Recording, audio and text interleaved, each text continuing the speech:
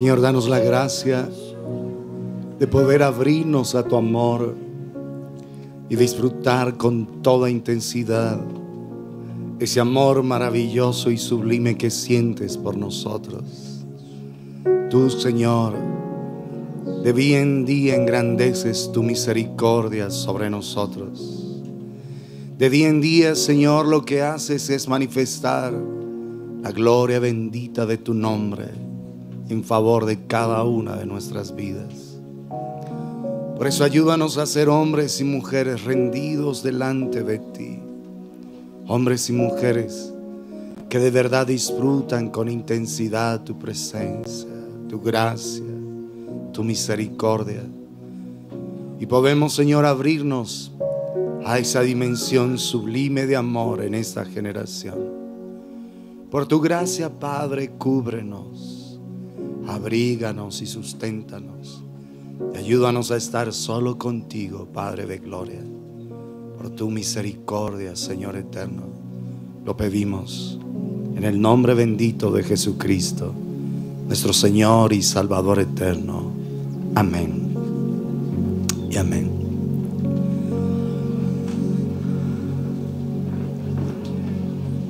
Buenas noches, amados, amadas del Señor.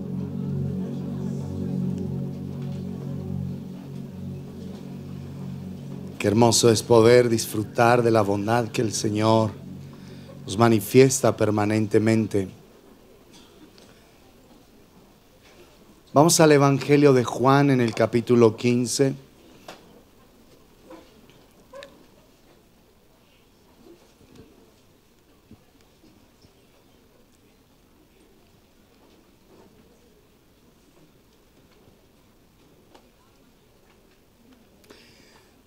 Juan capítulo 15, verso 7 y 8.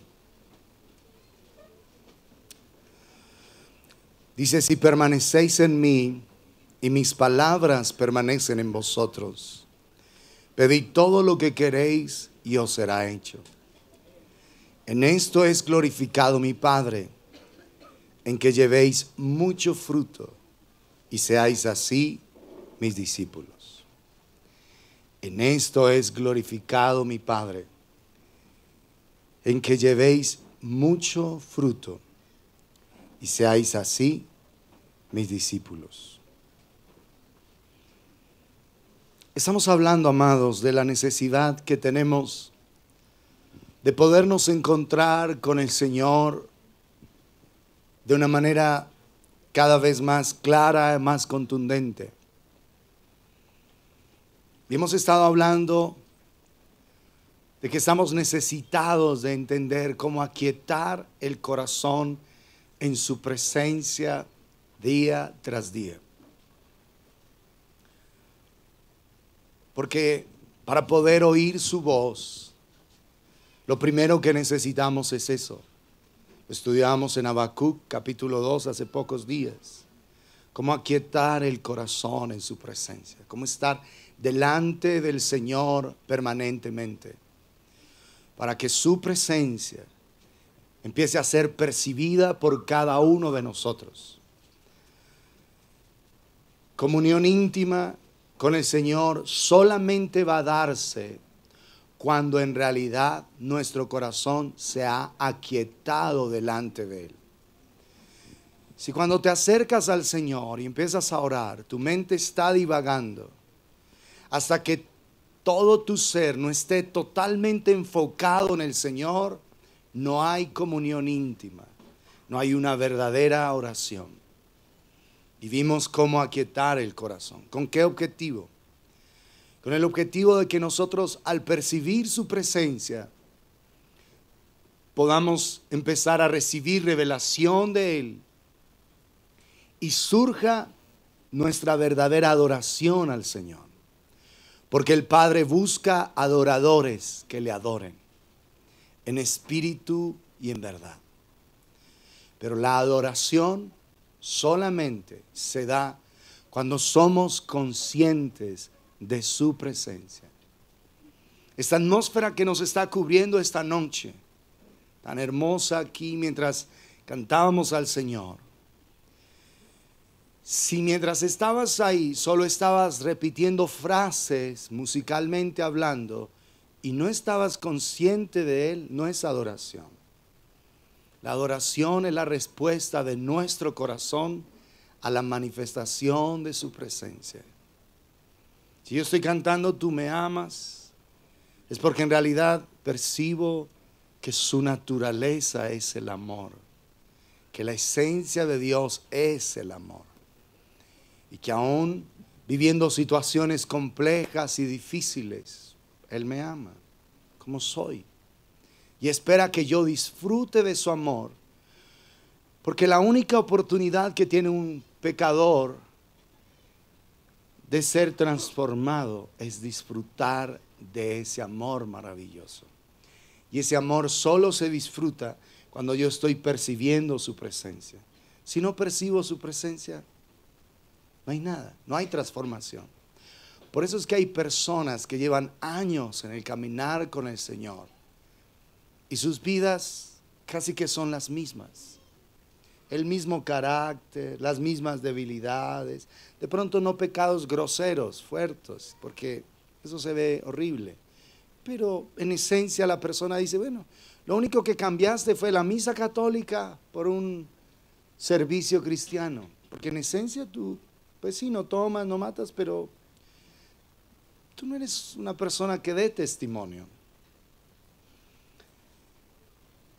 Es en los encuentros con el Señor donde nuestras vidas son transformadas. Y es lo que tú deberías luchar cada día.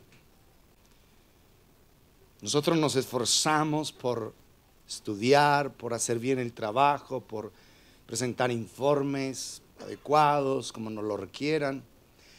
Ah, por presentar exámenes, todo. Pero tu mayor esfuerzo diario debería ser por encontrarte con Dios. Hoy no me he encontrado con Él. No se puede acabar este día sin que yo me haya encontrado con Dios. Y solo nos encontramos con Él en la quietud de su presencia. Si no te encuentras con Él, no hay transformación. Tú puedes seguir siendo la misma personita complicadita, maluquita, difícil. Aunque lleves años de ser supuestamente cristiano o cristiana. Son los encuentros con el Señor los que transforman verdaderamente nuestras vidas.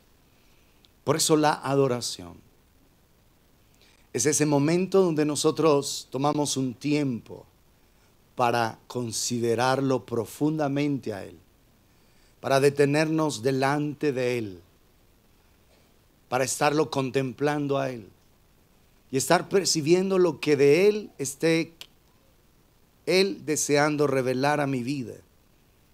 Por ejemplo, ahorita en este momento último, tú me amas, tú me amas. Era el Señor trayendo esa firmeza al corazón, de que de verdad Él nos ama, así como somos, nos acepta como somos.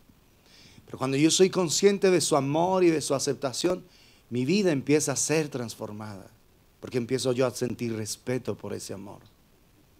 Empiezo yo a sentir una verdadera necesidad de honrar ese amor maravilloso. Y por eso la adoración es un fluir de un corazón que está percibiendo al Señor. Un fluir que brota de un corazón totalmente agradecido, admirado. De un corazón que está extasiado al estar junto a Él. Pero es un ser tan maravilloso que el solo hecho de que me permitas estar contigo, Señor, es tan hermoso. Aquí la gente de la tierra importante hay que pedirle citas, hay que tener antesala. Y si tú, por ejemplo, quisieras una cita con algún importante de la tierra, lo más seguro es que no la vayas a tener. De verdad, si tú quisieras, por ejemplo, hablar con el famoso Trump, oye, quiero una cita con él. No. Por su agenda, por su copa. Bueno, pero ¿quién eres tú? No, que yo vivo en Manizales. Manizales, ¿qué es Manizales? Pero imagínate el ser sublime y glorioso del universo. Quiere estar contigo cada día cada día. No hay que agendarle citas. No hay que hacer un protocolo. No hay que eh, buscar una palanca, una influencia. Tú puedes venir directamente ante Él por la sangre del Cordero, lo que veíamos el domingo. Por esa gloriosa obra de la cruz, es que nosotros nos podemos acercar a su presencia y podemos estar cada vez más atraídos delante de Él, más seducidos por ese amor inmerecido. Es que el amor de Dios es, es infinito y es lo que tu corazón necesita, lo que mi corazón necesita. Cuando una persona se siente amada y está disfrutando del amor de Dios, esa vida es una vida totalmente transformada. A pesar de que esté viviendo el momento más difícil de su vida, con el solo hecho de percibir ese amor, ese momento tan doloroso empieza a ser llevadero de una manera adecuada. Dice, bueno, sí, eso es lo peor que me ha pasado en la vida, lo más horrible que me ha pasado en la vida, sí. Pero tú estás aquí, Señor. Y el solo hecho de que tú estás, todo lo llena de luz, de gozo, de, alegría. La gente vive mal, y aún los cristianos viven mal, es por no percibir al Señor. Porque el Señor es un ser que su sola presencia cambia todas las atmósferas donde nosotros nos encontramos. El solo hecho de que Él esté ahí, ya uno se siente fantástico. El solo hecho de que uno empiece a percibir su presencia. Yo estaba en momentos bien complejos en mi vida. Y yo busco, en, aún en ese momento, cuando el, el corazón me tiembla, cuando siento que mi alma me tiembla de dolor adentro, de angustia, yo busco que aún en ese estado mi corazón tire para Él. Y empiezo a percibirlo a Él. Y aunque todo es un caos, yo digo, bueno, ya, ¿y qué? Si es un caos, ¿y qué? El Señor está. Y ese solo hecho de percibir a ese ser fantástico lo cambia todo. Yo les voy a decir una cosa. Desde que yo conozco al Señor, nunca me he desvelado por un problema. Y han sido cosas fuertes, serias las que he tenido que pues, enfrentar. Pero no. Nunca se me va el sueño. Y cuando se me va el sueño, quiero estar con Él. Porque Él tiene esa, esa, esa gracia sublime. De que el solo hecho que esté ahí, todo lo cambia. Todo lo cambia. Y eso lo dice el, el Salmo. Veamos el Salmo 84.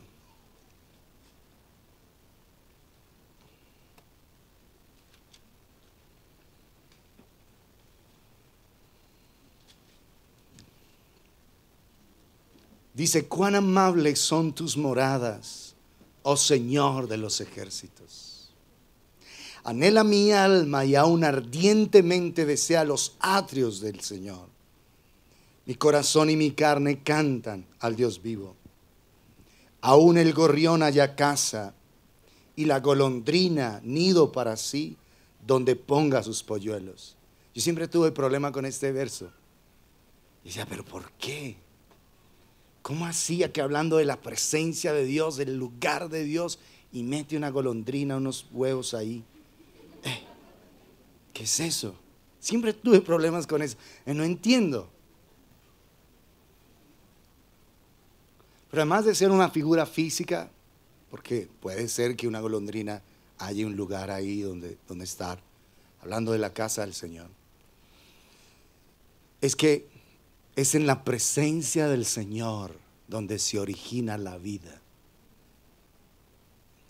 Y ahí es donde el salmista conecta la presencia de Dios con esto, con vida, con dulzura.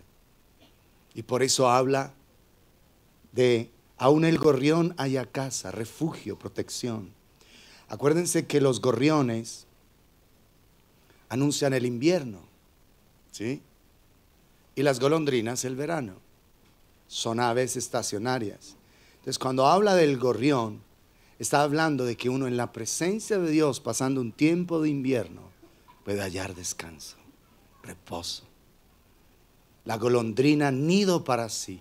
En el tiempo del verano, en el tiempo que, tú sabes, invierno es una manera metafórica de hablar de aflicción, de dolor, de angustia.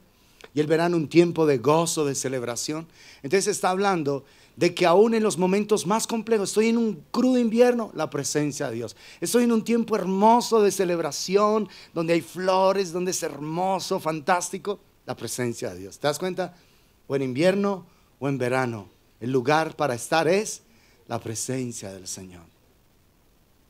Cerca de tus altares, oh Señor de los ejércitos, Rey mío y Dios mío. Entonces ahora si eres un gorrioncito que está, que está viviendo invierno y que está anunciando ese tiempo, esa estación difícil, la presencia de Dios, ve ahí, refúgiate. El esposito, la esposita, los hijitos, el jefecito, la jefecita que es como endiabladito. la presencia de Dios. Sí estamos. Que no hay platica, que la presencia de Dios. Que estamos pasando momentos de angustia, la presencia de Dios. Es el lugar. Dice, bienaventurados los que habitan en tu casa. Noten que eh, la invitación no es a visitar, sino a habitar. Y nosotros estamos pidiendo es que el Señor habite en esta ciudad, habite en medio de nosotros. No que la visite, porque cuando uno va de visita luego se va. ¿Cierto? No, yo no quisiera que el Señor venga a visitar a Manizales. Que Él haga su habitación en medio de nosotros. Dios eligió asilo en una época y estuvo ahí, su presencia estuvo allí. Dejaron el tabernáculo allí. Luego David traslada el tabernáculo a Jerusalén. Y el Señor durante los días de David habitó en Jerusalén. Estuvo ahí también en los días de Salomón. Y el templo estaba levantado hasta la destrucción en Babilonia. Así que el Señor de todas maneras eligió ese lugar para habitar. Entonces yo le he dicho al Señor, oye, yo sé que no somos Jerusalén, pero ¿por qué no, no haces de Manizales una Jerusalén, Señor? Un lugar donde la gente se pueda encontrar contigo, donde la gente venga aquí para percibir tu presencia, tu gracia, para percibir tu gran amor, Señor. Haz de Manizales un lugar de tu presencia y la gente quiera decir, vamos a Manizales porque vamos a encontrarnos con Dios. Dios está manifestándose allí, Dios está habitando con ellos. No solo Manizales, cada ciudad tiene esa, esa bondad, puede tener esa bondad, pero se necesita es que en las ciudades se encuentren hombres como los que hubo en los días de David, David y sus hombres, que levantaron el tabernáculo de David. Y la presencia de Dios estaba ahí permanentemente. Si un peregrino llegara de tierras lejanas a Jerusalén, la presencia de Dios estaba ahí. No se había construido el templo, pero estaba el tabernáculo de David. La gente podía encontrarse en los días de David ahí.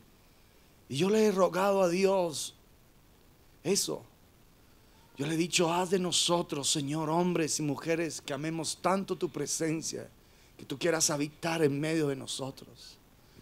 Y yo sé que no es sencillo, porque hay gente que está anhelando otras cosas. Pero es que tener al Señor es tenerlo todo y más. ¿Me escucharon eso? Tener al Señor es tenerlo todo y más. Solo que la gente no sabe eso, no lo entiende. Y piensa que, que necesita otras cosas. Pero si tuviéramos al Señor, lo tendríamos todo y más. Tú puedes hacerle un altar al dolor. ¿Qué es que me pasó esto? Y es doloroso, sí. Y te puedes quedar ahí dándole vueltas a tu dolor y amargarte y terminar tus días llena de dolor, lleno de dolor por esa situación. Yo no digo que perder un ser querido no sea doloroso, no digo que perder finanzas no sea doloroso, una relación no sea doloroso, pero no podemos hacer de, del dolor un ídolo. Tú no puedes levantar un ídolo al dolor. Deja que el Señor te consuele, porque Dios es más grande que tu dolor. Dios es más grande que tu problema, Dios es más grande que tu pecado, Dios es más grande que tu debilidad, Dios es más grande que las flaquezas que tienes, Dios es infinitamente más grande que todo lo complejo que estés viviendo.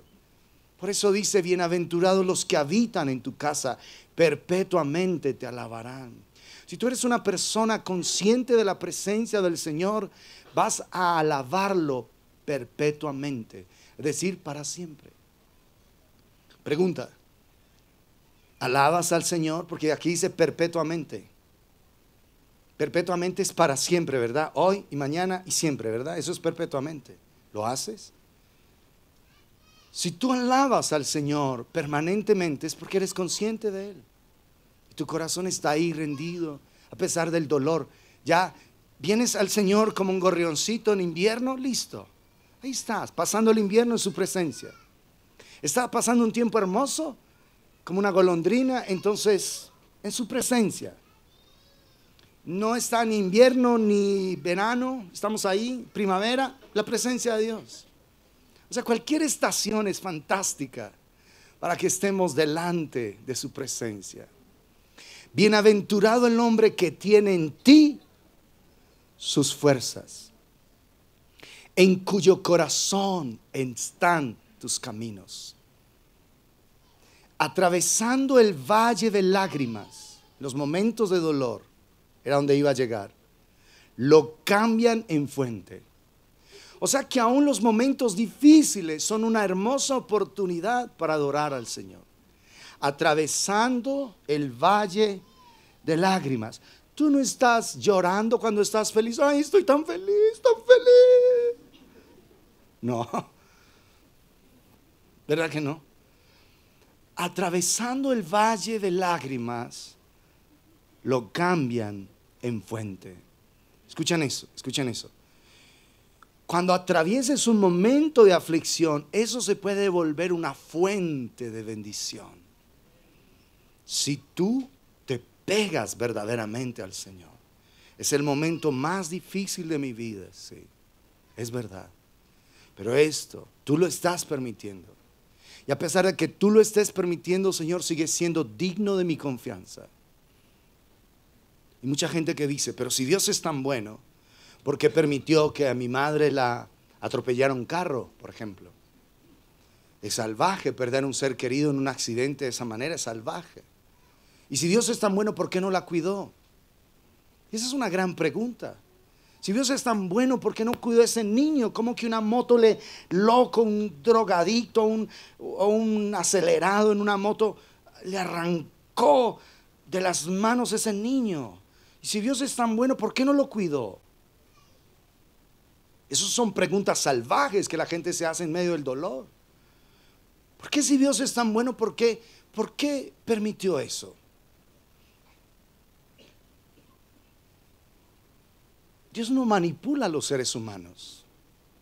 Cada ser humano es libre. Si ese loco que pasó en un carro ahí a 500 kilómetros por hora, o ese loco que pasó en una moto y atropelló a una persona, es libre, esa persona toma sus propias decisiones. Pero es que nos arrebató un ser querido, sí.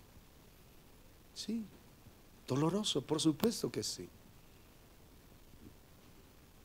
Pero ese hecho no anula que Dios me ama y ama mi casa. A pesar de que un loco tomó una decisión desacertada de creer que una calle donde se transita a 20 kilómetros por hora es una pista de automovilismo y mata a una persona.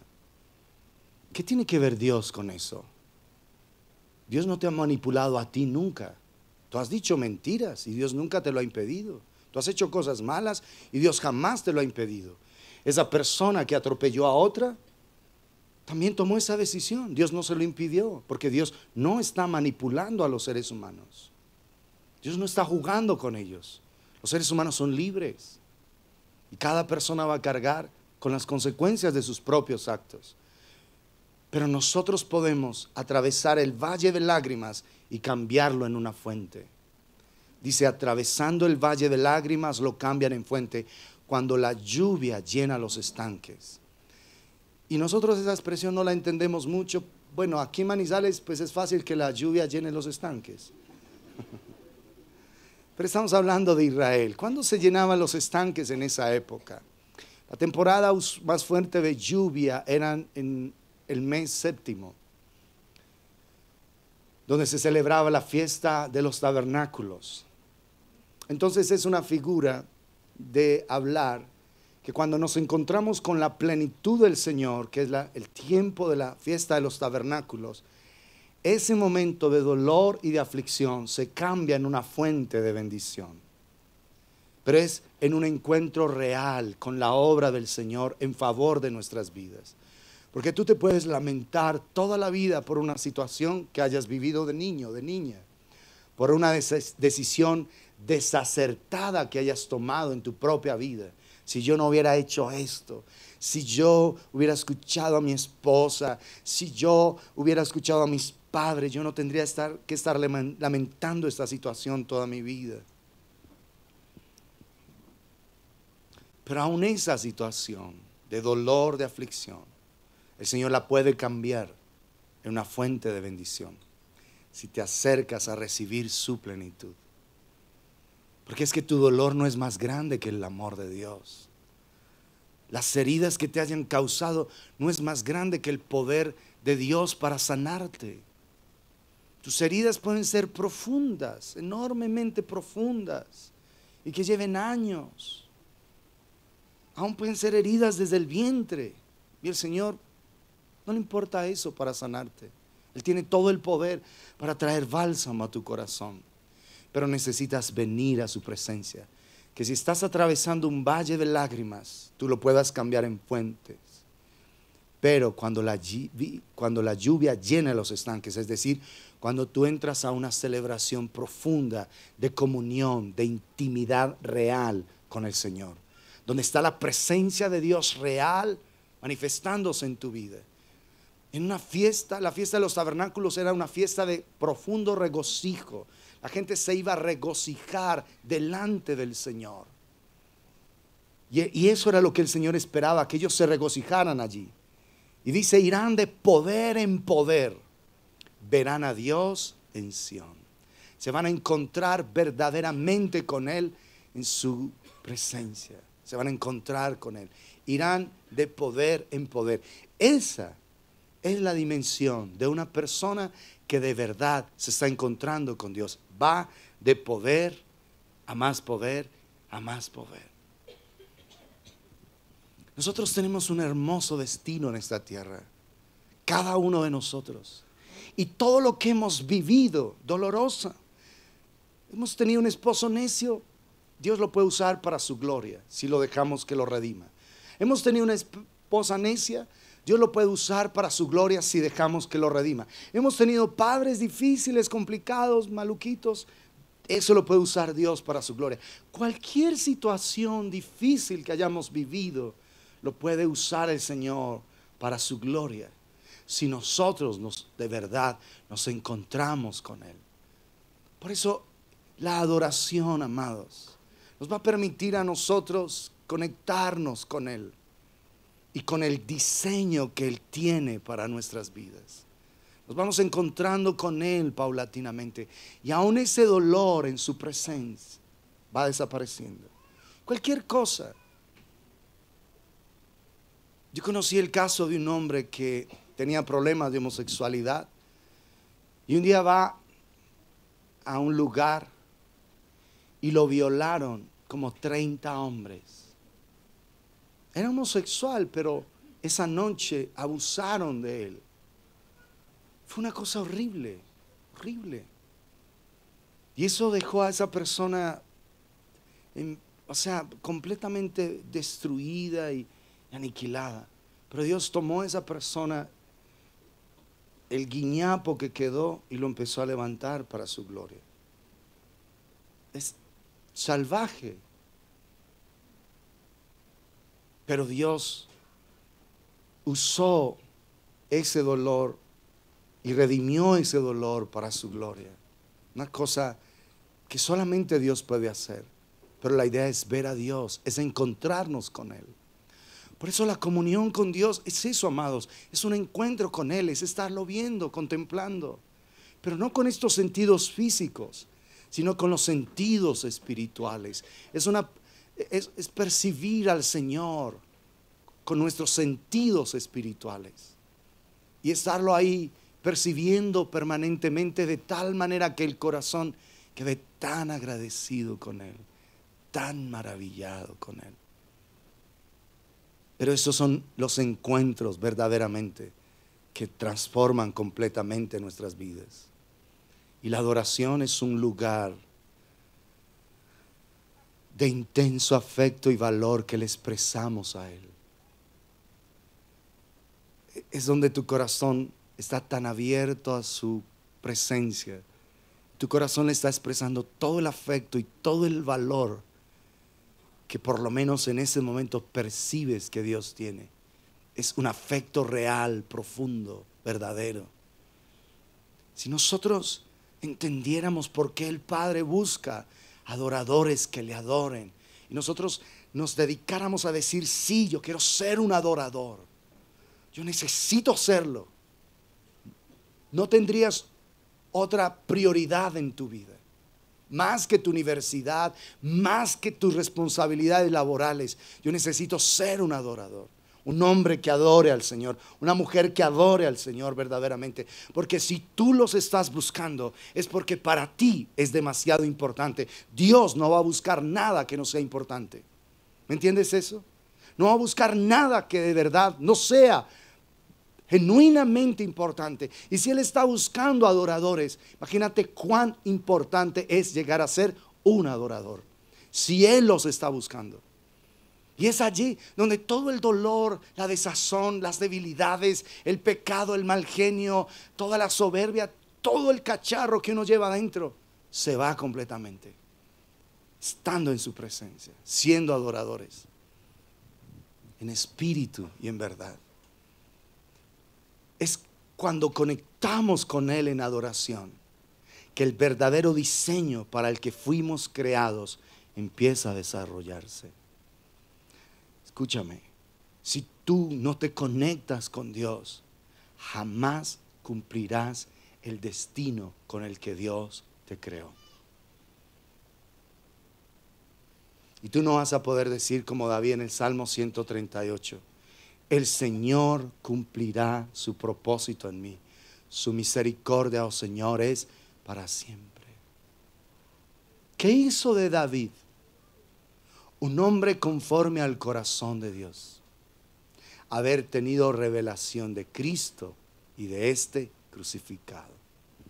Cuando él empezó a percibir toda la grandeza del amor del Señor, por ejemplo, como veíamos el domingo en el Salmo 22 Horadaron mis manos y mis pies. Contar puedo todos mis huesos. Sobre mis vestidos echaron suertes. Me han rodeado cuadrilla de leones. Cuando Él se siente así, Dios mío, Dios mío, ¿por qué me has desamparado? Al ver todo ese amor manifestado, es que David de verdad empezó a volverse un hombre conforme al corazón de Dios. Un hombre que aprendió a amar lo que Dios ama y aborrecer lo que Dios aborrece. A conducirse como un reflejo de Él en esta tierra. Y por eso tú ves a David permanentemente consultando al Señor. Cuando lo, están, cuando lo está persiguiendo Saúl, hay un sacerdote, Abiatar, que se va a estar con él y se llevó el efod después de que Saúl mata a todos los sacerdotes de Not. Entonces él sale, es uno de los que pudo huir realmente. Y entonces, siempre que iba a hacer algo, consultaba, tráele foto, vamos a preguntarle a Dios, Señor, ¿me van a entregar los hombres de Keila? ¿Van a, ¿Va a venir Saúl aquí? Sí, va a venir. Señor, ellos me van a entregar, sí, te van a entregar. Entonces tenía que salir. Señor, ¿va a venir Saúl a buscarme? Sí, hijo, te, va a buscarte, así que vete. El Señor permanentemente lo estaba guiando. Jesús lo dijo en Juan 5. Yo no hago nada por mí mismo. Verso 19. Todo lo que veo hacer al Padre, eso es lo que yo hago. Yo no hablo nada por mí mismo. Lo que yo escucho al Padre, eso es lo que yo hago. Eso hizo de David un hombre conforme al corazón de Dios, una figura de Jesús en esta tierra, que permanentemente en comunión le está preguntando al Señor. Ahora tú tienes que rehusarte a pensar el hecho de que es que yo le pregunto a Dios, pero Dios no me responde. Es que yo le hago preguntas a Dios y no llegan las respuestas. Si tú no aquietas tu corazón ante Él, ¿cómo van a venir las respuestas? ¿Cómo sabes si Dios te está contestando o no si no escuchas? Si tu mente está llena de ideas, llena de imágenes, si tu mente está atiborrada de cosas, ¿cómo vas a saber si Dios te está contestando o no te está contestando? Me estoy haciendo entender. Ahí está Habacuc, que estudiamos hace poco. Sobre mi guarda estaré y esperaré para ver lo que se me hablará tocante a mi queja. Él iba a esperar una respuesta del Señor, pero tú esperas que distraído y turbado, Dios te conteste inmediatamente. No, amado, eso no existe. Dios le va a contestar a tu corazón. Y quizás no lo que tú esperas, sino lo que Él sabe que es adecuado.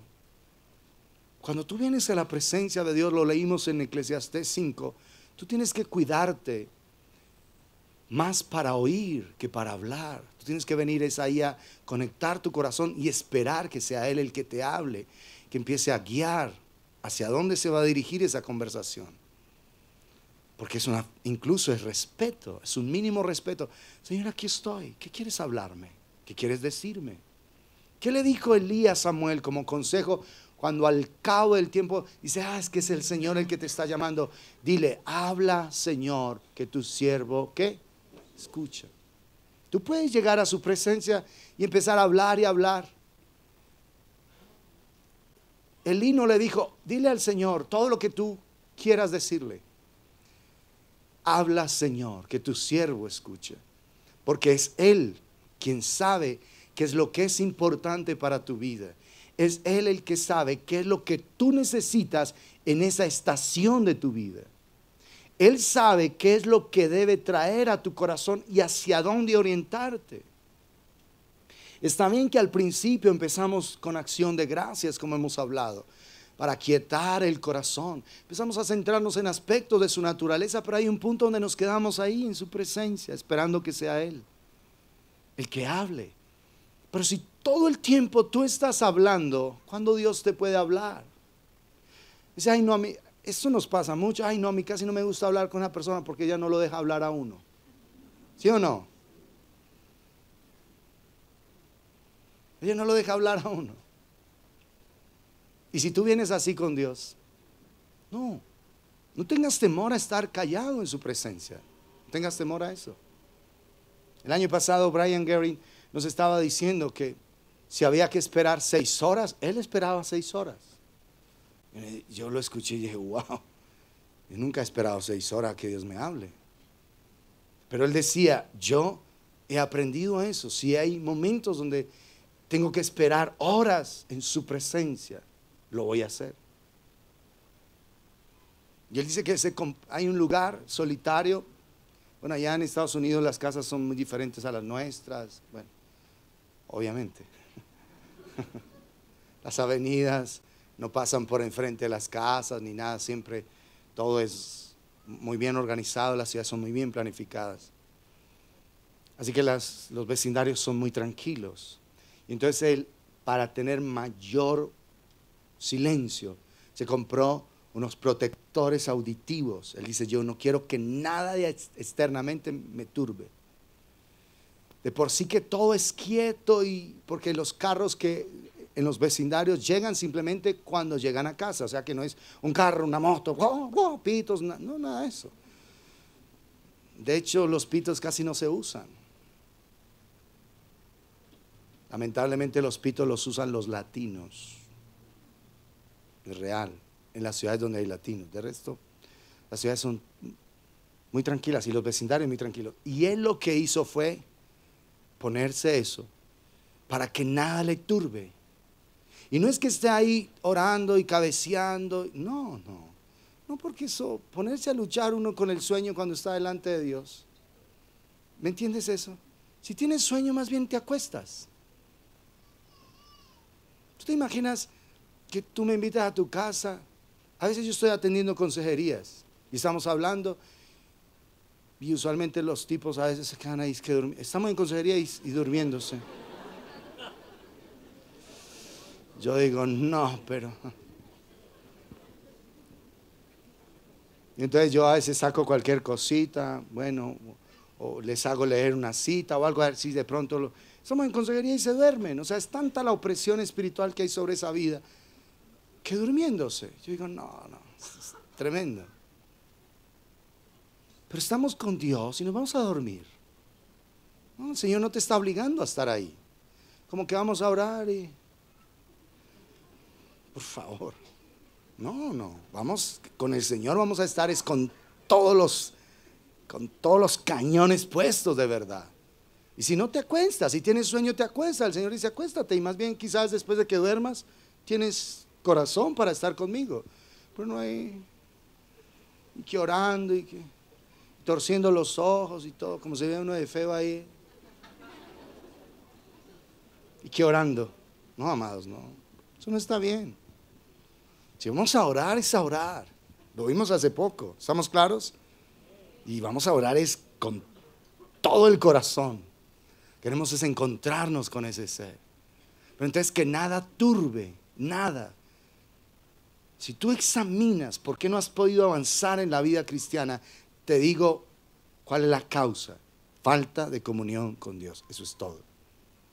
Te aseguro que tú no avanzas, que tú no te apasionas por Dios, porque tú no tienes comunión. Y por eso esa serie que vimos hace poco de Habacuc debe ser una serie que si tú quieres tener comunión con Dios, la medites profundamente. Porque ahí hablamos de cómo aprender a quietar los pensamientos, esas voces internas que tenemos. Ahí hablamos de cómo esas imágenes que corren en nuestra mente nos impiden conectar con Dios. Hasta que tú no conectes con Dios de verdad, no vas a avanzar en la vida cristiana. No avanzas. ¿Estamos claros? No avanzas. ¿Sabes por qué no te has apasionado por Dios? Por falta de comunión con Él. Eso es todo. Porque cuando uno empieza, lo, dijimos hace poco, si nos enamoramos de un ser humano, ahí en el retiro de mujeres yo lo dije un poquito diferente, si nos enamoramos de un baboso, también siendo yo uno de ellos, una mujer se enamora de un baboso.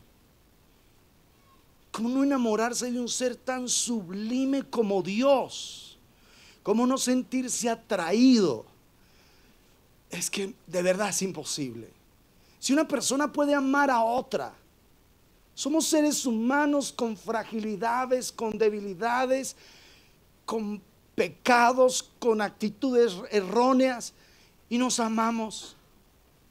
Y hay mujeres que, ay, tan lindo, sí, pastor, yo te entiendo. Me viste en el blanco, pastor. Ahora, con un ser tan sublimemente maravilloso como es Dios, ¿por qué no te enamoras? Porque no lo conoces. ¿Por qué no lo conoces? Porque no tienes intimidad con Él. ¿Por qué no tienes intimidad con Él? Porque no sabes aquietar tu corazón en su presencia. Eso es todo. ¿Por qué no has avanzado? ¿Te has preguntado por qué no has avanzado? ¿Por qué sigues de mal genio? ¿Por qué sigues impaciente? ¿Por qué sigues una mujer así como tú eres y aborreces ser como eres? ¿Sabes por qué? Porque no tienes comunión con Dios.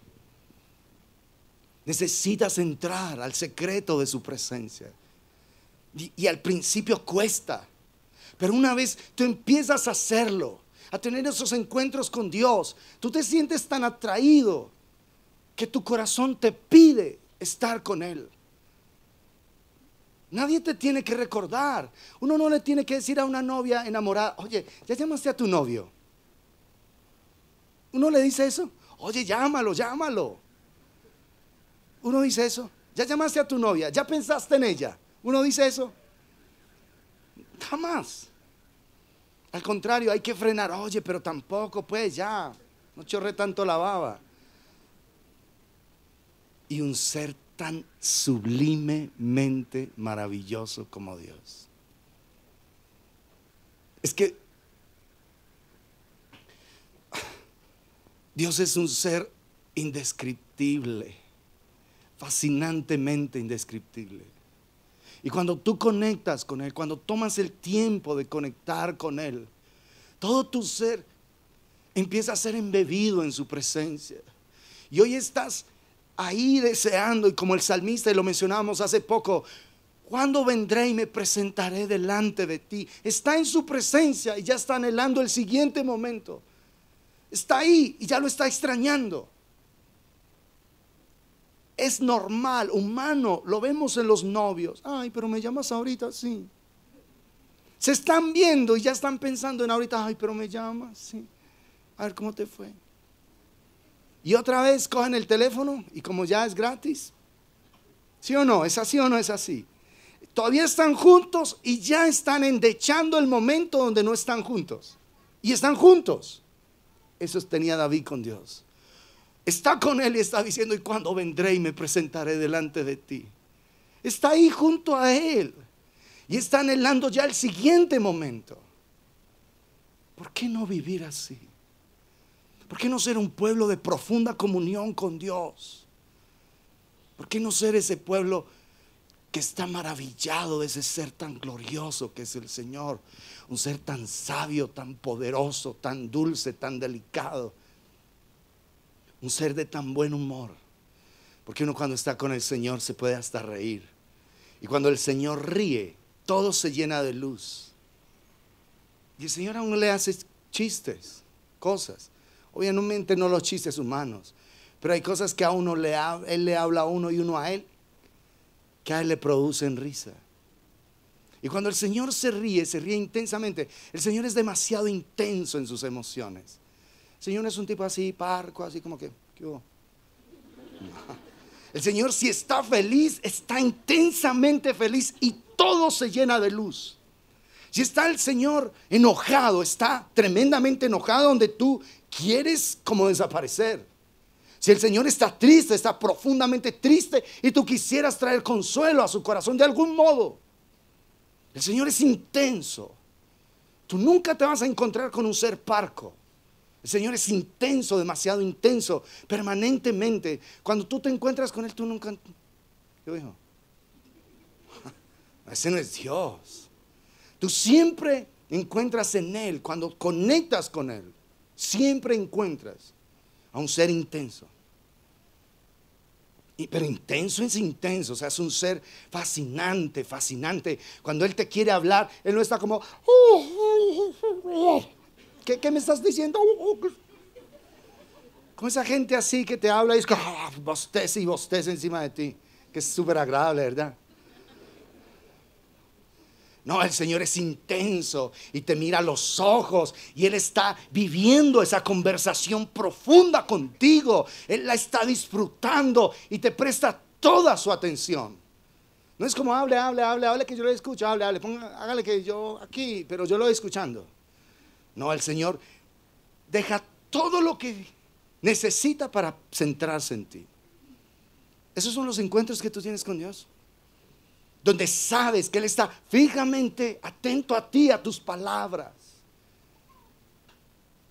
Por eso cuando tú le hables a Él, tú no le hables estupideces, tonterías. Háblale sabiendo que está brotando algo es de tu corazón. Porque Él es intenso cuando se relaciona con nosotros. Cuando Él te va a hablar algo, Él te habla algo profundo y específico. Él te habla con intensidad y con claridad. Él no te está hablando como de, hijo, ¿tú sabes cómo se hacen estas bolitas?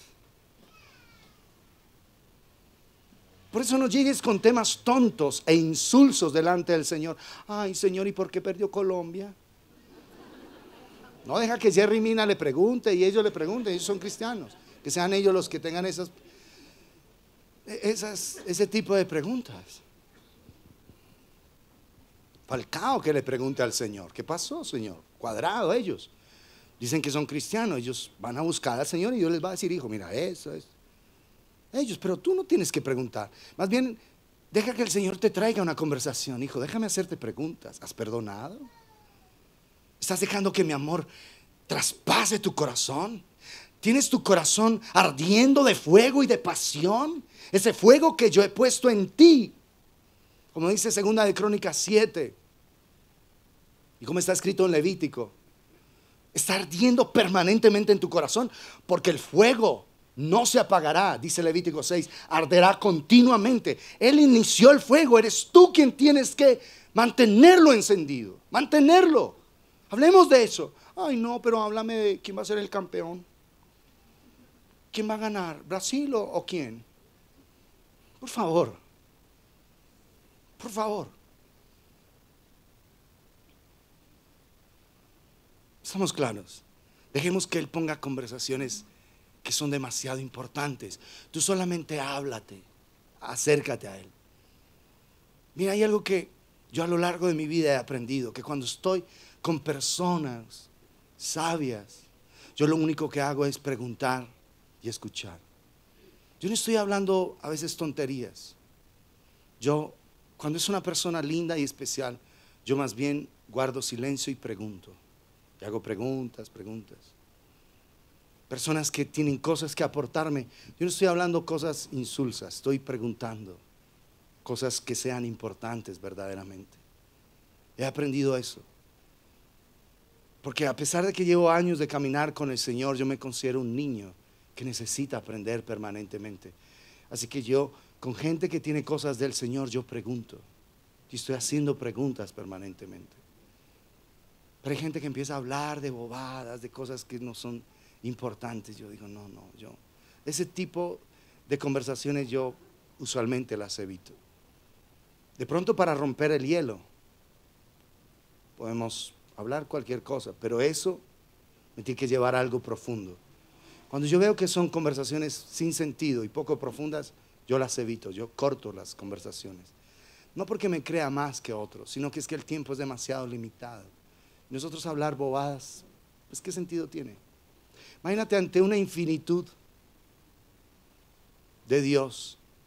Así sean cosas que digamos, cotidianas, pero yo quiero aprender. Yo pregunto, ven, ¿y qué es esto? ¿Qué es esto? ¿Y, cómo funciona? Quiero aprender permanentemente.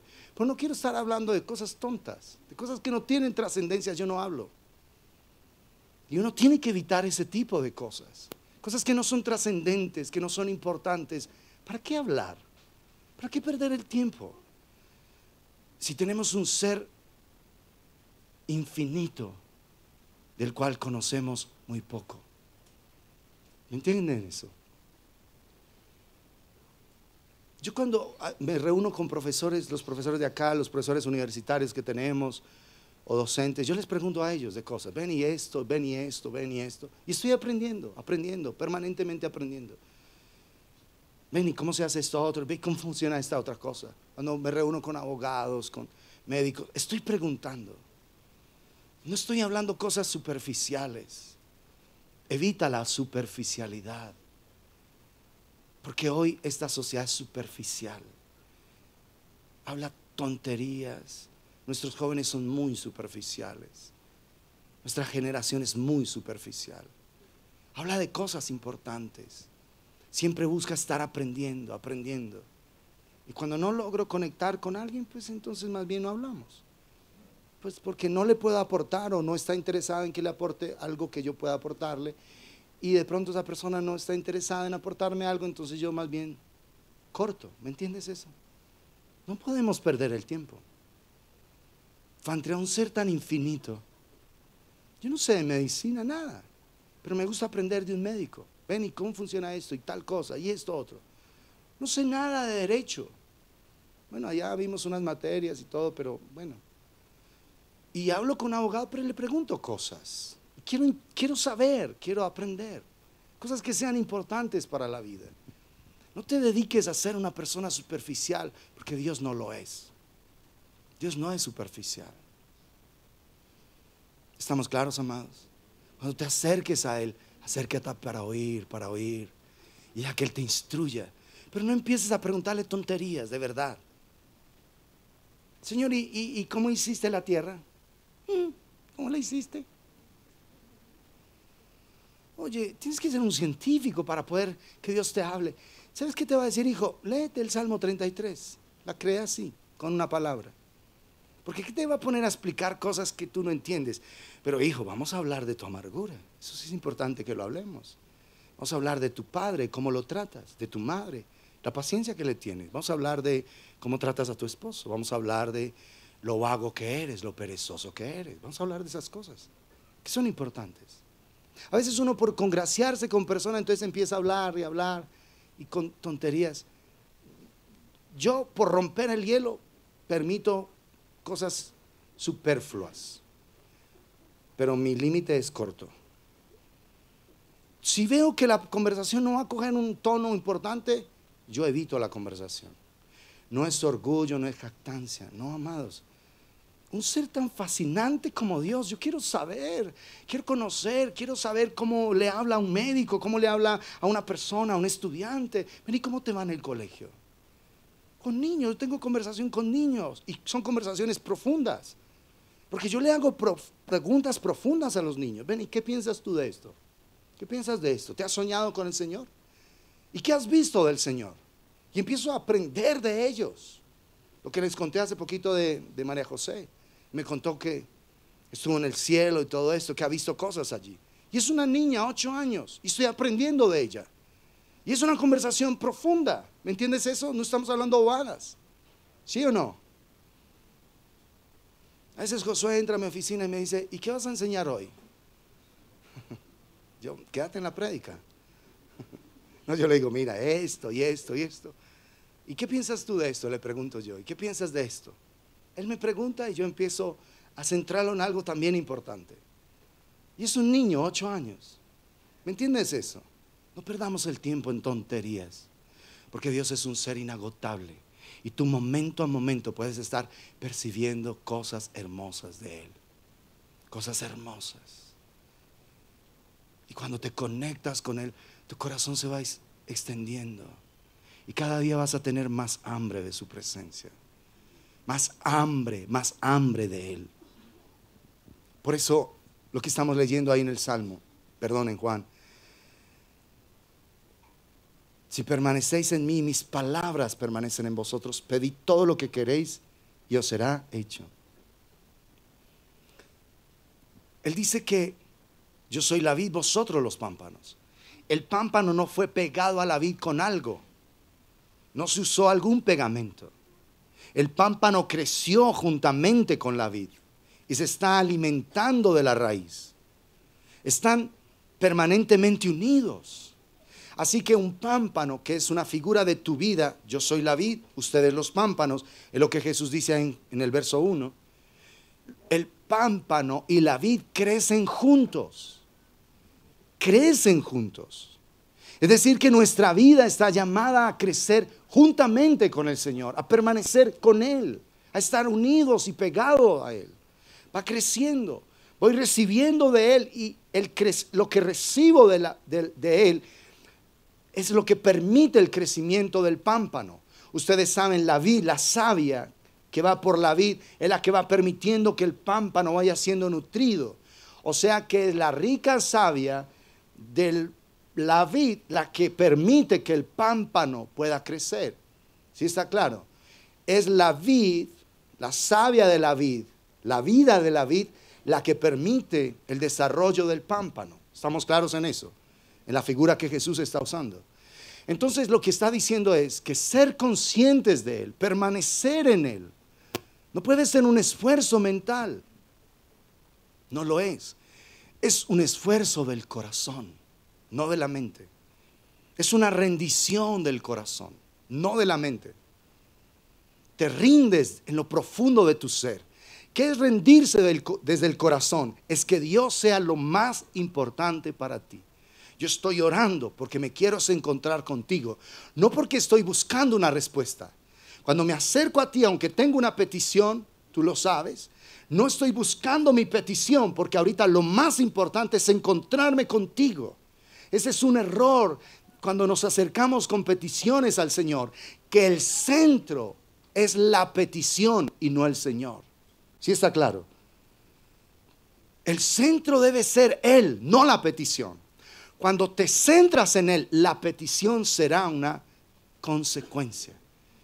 Cuando Él dijo allá en Mateo 6:33, Busquen primeramente el reino de Dios y su justicia y todas las demás cosas les serán añadidas. Es que te centras en Él y la petición por la que tú llegaste a su presencia va a llegar como una consecuencia. Pero cuando tu centro es la petición, Dios no es el centro de tu vida, sino tú mismo. ¿Sí está claro? Entonces, cuando dice que si permanecéis en mí, no en tu petición, no en tu necesidad, y mis palabras permanecen en vosotros, pedid todo lo que queréis y os será hecho.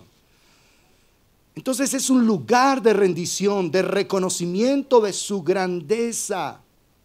Reconocemos lo infinito que es Él y que Él tiene poder de traer esta respuesta. No estoy buscando la, la respuesta, estoy buscando aquel que la puede traer. ¿Sí está claro? Ese es un gran error cuando tenemos peticiones, que ponemos la petición como el centro de nuestra relación con Dios. Así que aquí está el pámpano, no haciendo declaraciones. Declaro en el nombre de Jesús, decreto en el nombre de Jesús. Un pámpano no hace decretos para llevar fruto. Un pámpano lo, que lo único que hace es permanecer en la vid para dar fruto. Eso es todo. No es decretos, no es peticiones, no es reprender, no es atar y desatar lo que causa que el pámpano lleve fruto, ¿está claro? Usted nunca ha visto un pámpano, yo decreto que voy a dar fruto, decreto que daré uvas muy buenas. no, el pámpano sencillamente permanece en la vid y da un fruto, ¿sí está claro? En esto es glorificado mi Padre, en que llevéis qué? Mucho fruto, es un solo fruto manifestado nueve características, un solo fruto. Tú no puedes decir que tienes mucho amor, pero eres muy impaciente. Que tienes mucho, mucha mansedumbre, pero que no tienes fe. Es un solo fruto, el uno solo, que se manifiesta en nueve características. Un solo fruto. En esto es glorificado mi Padre, en que llevéis qué? Mucho fruto.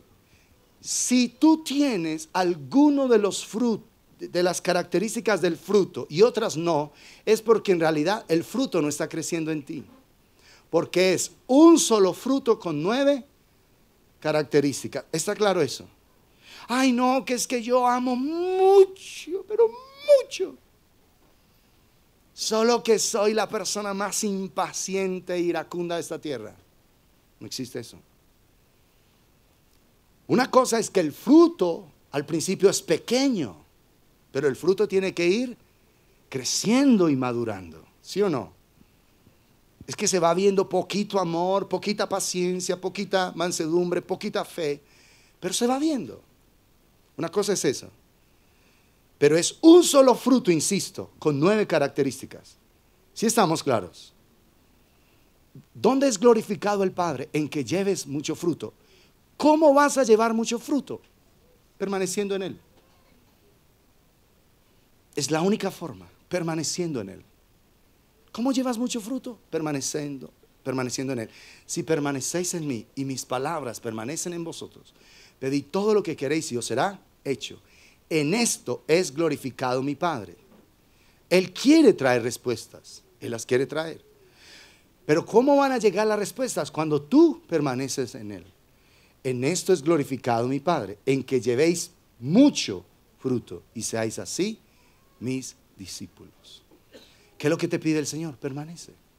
Si permanecéis en mí, en mí, en mí, en mí, en mí, es una relación, es comunión, es cercanía, es disfrutar. Es disfrutar de ese amor.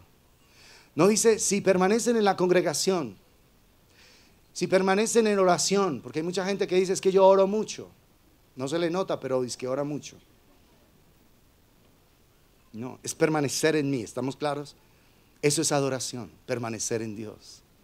Y cuando yo permanezco en Él y su palabra permanece en mí, las peticiones que yo hago son hechas, porque estoy pidiendo conforme a su voluntad.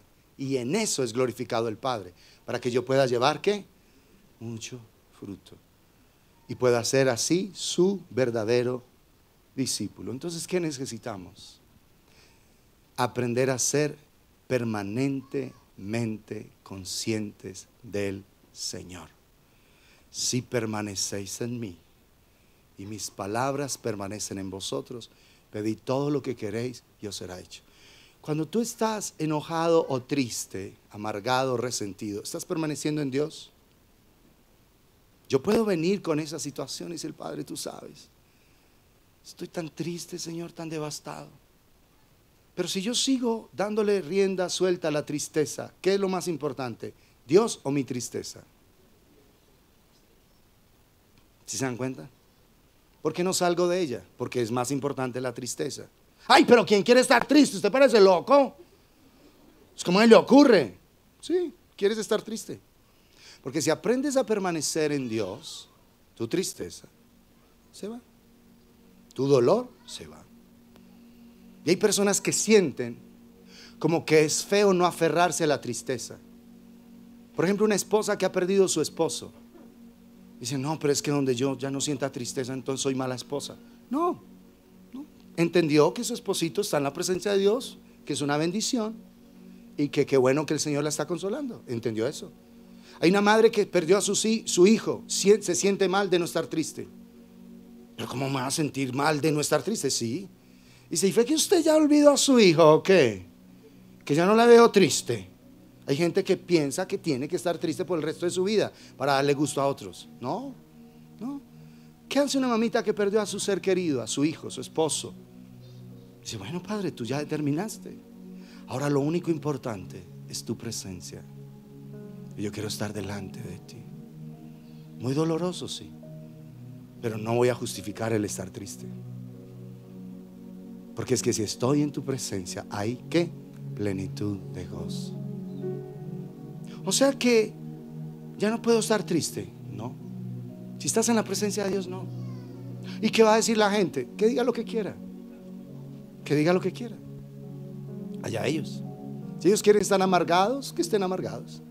Ah, y usted como que, como ya no le dolió a su hijo, usted ya no, les, ya no siente nada por él, porque ya no llora como yo. Usted como que ya se le olvidó a su mamá, ¿no? Ya no la veo triste ni lo veo triste. Usted sí es muy mal hijo. Bueno, puede ser, pero estoy feliz en Dios. ¿Entiendes eso? La gente quiere ver a otro derrotado por el resto de su vida. No, amados, ¿por qué? con un ser tan fascinante como Dios, con un ser tan gloriosamente maravilloso como Dios. ¿Cómo no vivir bien? A pesar de un invierno crudo, a pesar de un invierno cruel, irán de poder en poder, verán a Dios en Sión.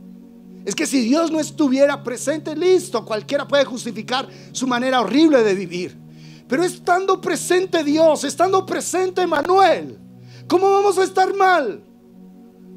Por eso Pablo decía, sí, estamos afligidos, pero no angustiados, estamos en apuros, pero no desesperados. Sí, es verdad, la estamos pasando mal, pero el Señor está con nosotros. Ese es el consuelo. No pienses que tienes que perpetuar tu dolor para darle gusto a otros. Claro, sé cómo ya se le olvidó. Hay familias donde uno ha logrado superar el duelo de la pérdida, por ejemplo, de la mamita. dice, claro, usted como ya a mi mamá no le importa. Pues ¿qué vas a ver? Usted nunca le importó. Ahora menos. Si no le importó viva, ahora qué le va a importar de muerta. Y hay hermanos que quieren ver a sus hijos, a sus hermanos derrotados el resto de la vida como están ellos. ¿Por qué? No. Nuestras madres son seres fantásticos y maravillosos. Yo amo a mi madre. Oro por ella, la bendigo. Y sé que el día que el Señor determine llevarla causará un gran impacto en mi corazón. Pero ¿cuál va a ser mi consuelo? Saber que mi Señor la tiene consolada entre sus brazos y la va a amar y la va a cuidar y la va a bendecir por la eternidad. ¿Voy a estar yo amargado porque ella está en su presencia? ¿Ustedes creen que eso es válido? Ay, pero es que es mi madre. No, la tuya no, la mía.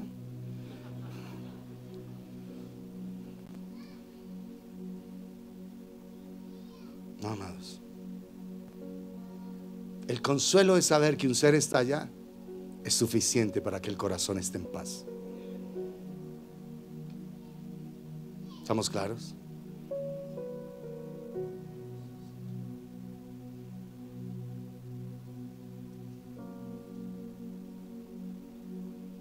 Usted es como desalmado, ¿no, pastor? La gente que me está mirando ahí como... No, yo les aseguro, amados, frente a un ser tan glorioso como Dios, ningún duelo, ningún luto es justificable.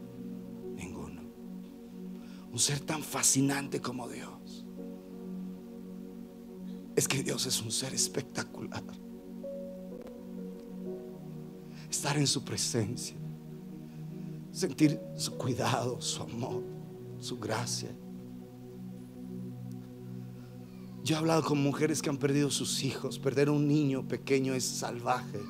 Es una espada atravesando el alma de una mujer, yo lo sé. Pero ellas han entendido, aquí hay mujeres que perdieron niños. Y Dios las consoló de tal manera que ellas están agradecidas de que sus niños hoy estén en la presencia de Dios. Y fueron niños. Y cuando las conocí, mujeres lloraban de día y de noche por la pérdida de sus hijos. Dios la restauró de una manera gloriosa. Es un niño. O sea, sí, perder cualquier hijo es salvaje, pero perder un niño es triplemente salvaje, ¿verdad? Pero aún venir al consuelo de Dios es dejar que Él se lleve el dolor. Y me he dado cuenta que a esas mujeres que Dios las consoló por la pérdida de un hijo, la familia les reclama por la paz que tienen. Imagínate los salvajes que son. Los seres humanos sin Dios somos salvajes, somos asquerosamente salvajes. ¿A usted como ya no le importa a su hijo? ¿Pero por qué? Como usted ya no llora, como usted ya se le olvidó que tuvo un hijo. No, no se le olvidó. Fue consolada y está bendecida de que ese hijo esté allá entre los brazos del ser más glorioso y más sublime que existe. Y sabes que tienen esas mujeres esperanza. Pronto, hijo, estaré contigo. Pronto, pronto nos volveremos a ver. Es distinto ver las cosas desde el corazón de Dios. ¿Estamos claros en eso? No es ser desalmado. Es que frente a un ser como Dios, cualquier dolor desaparece. Porque es, Él se reveló, Él, Dios mismo. Uno de los nombres con los que se revela la humanidad es Padre de misericordias y Dios de toda consolación. Es uno de los nombres con el que Dios se revela a las personas en aflicción. Padre de misericordias y Dios de toda consolación. Una vez una mujer enojadísima conmigo le dijo, lo he de ver pasando por un momento bien doloroso. A ver, a ver, si me dice lo mismo. Yo le digo, yo puedo entender tu dolor y entiendo tu enojo hacia mí. Pero el día que tú abras tu corazón, me vas a dar la razón. Estaba enojadísima conmigo. Porque yo le estaba diciendo que Dios la podía consolar. Enojada, salvajemente enojada conmigo. ¿Hay algo que estás pasando mal? Atravesando el valle de lágrimas, lo cambian en fuentes. Cuando la lluvia llena los estanques, irán de poder en poder, a Dios en Sion. Padre, yo ruego que este pueblo que tú llamaste y escogiste desde antes de la fundación del mundo pueda encontrarse contigo día tras día. Pueda ser un pueblo que se fascine de tu presencia, que se maraville de estar contigo, de estar cerca de ti, y que su corazón esté cada vez más extasiado al estar en tu presencia. Que sea un pueblo, Señor, que se sienta tan feliz de encontrarse contigo, que cada día, a pesar de las múltiples ocupaciones que tengamos, busquemos estar delante de ti en la quietud de tu presencia. Tú eres tan fascinante, Señor. Tú eres gloriosamente fascinante. Tu manera de ser, tu carácter, tu sabiduría, tu poder, tu gracia, tu amor. Todo en ti es sublimemente atractivo. Si hemos podido amarnos unos a otros teniendo tantas debilidades, como no amar un ser tan glorioso como tú? Como no amar un ser tan fascinante como tú? Oh Dios, oh Dios maravilloso. Permite que podamos de verdad aquietarnos en tu presencia día tras día. Que podamos venir a encuentros profundos contigo, Señor. Aquieta el corazón de todo tu pueblo, aquieta su mente, sus pensamientos. Cubre nuestras mentes en el poder de la sangre de Jesús. Para que tengamos días, bendito Dios, enteros en tu presencia, conscientes de ti.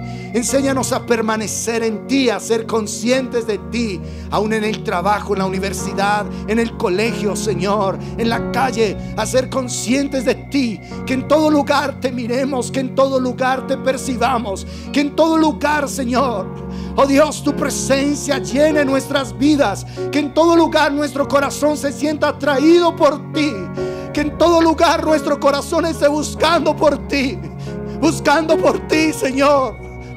Oh Dios maravilloso, tú eres sublime, tú eres excelso, Señor. Que nuestro corazón te busque permanentemente, te busque, Señor. Y al estar en tu presencia, oh Dios de la gloria, podamos ser pámpanos que llevan frutos, Señor porque en esto es glorificado tu nombre, que llevemos mucho fruto y seamos así verdaderos discípulos. Danos esa gracia, Padre, de permanecer conectados a ti, aun cuando nuestras debilidades aparecen. Estar conectados a ti cuando las debilidades de otra persona aparecen, cuando las debilidades de nuestros seres queridos aparecen. Estar conectados a ti, Señor. Danos esa gracia, Padre de permanecer, Dios mío, conectados a ti, en comunión contigo, Señor. Aún en los momentos difíciles, aún cuando tengamos que atravesar, atravesar valle de lágrimas, que se cambien en fuentes, Señor, en fuentes de vida, en fuentes de bendición. Ayúdanos, Señor, a tener esos encuentros tan hermosos en tu presencia, que nuestras vidas sean transformadas verdaderamente oh Dios Todopoderoso, porque si permanecemos en ti, en ti, en tu presencia, ser conscientes de ti, conectar contigo nos va a llevar a una verdadera adoración, a una adoración genuina y real, Padre de gloria para que tus palabras hayan cabida en nosotros y podamos llevar muchos frutos, Padre. Bendícenos y ayúdanos a permanecer delante de ti, Señor. Por tu gloria te lo rogamos en el nombre de Jesús.